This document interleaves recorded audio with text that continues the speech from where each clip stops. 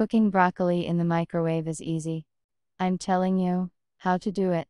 You can serve broccoli as a vegetable side dish to a variety of dishes. You can, on your own. 1. Rinse the broccoli with running water. 2. Cut the broccoli into inflorescences. 3. Pour water into a bowl suitable for microwave use. Add the broccoli, and cover with a lid. 4. Cook broccoli in the microwave on high power for 2 minutes. Remove the lid, and see if the cabbage is ready. 5. Serve broccoli with fervor, with heat. Enjoy your meal.